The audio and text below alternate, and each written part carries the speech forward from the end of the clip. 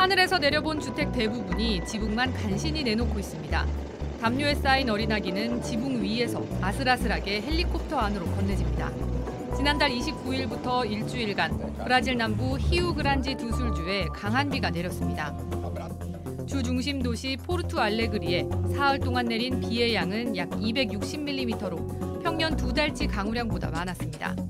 약 10만 명의 이재민이 발생했고 현재까지 최소 78명이 숨졌습니다. 여전히 100명 넘게 실종 상태라 사망자는 더 늘어날 가능성이 있습니다. 주 도로 대부분이 침수되면서 식수와 구호물품 보급에도 어려움을 겪고 있습니다. E que tem muitas estradas estaduais que estão com problema.